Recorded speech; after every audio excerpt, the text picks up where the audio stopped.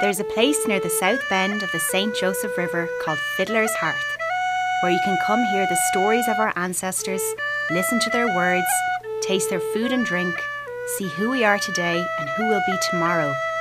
Then, like our fathers before us, these stories will flow through you to your children and your children's children. And the crack will stay mighty in this place called Fiddler's Hearth near the south bend of the St. Joseph River.